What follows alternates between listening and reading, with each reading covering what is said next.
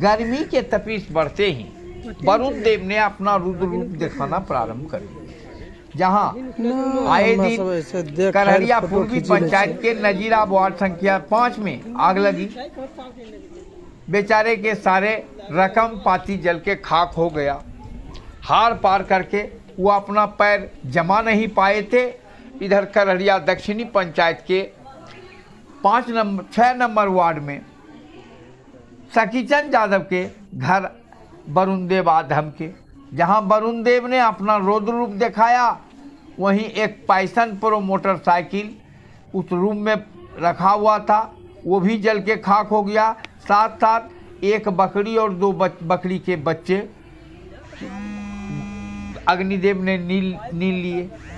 लोगों का मानना है कि वरुण देव अपना रुद्र रूप अवश्य दिखावेंगे क्योंकि सावधानी हटी और दुर्घटना घटी।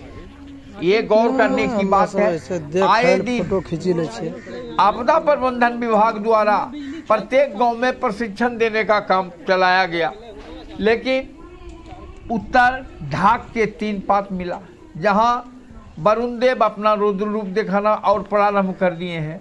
एक सप्ताह के अंदर बरियारपुर प्रखंड के दो गाँवों में हालात हुई गौरतलब बात है।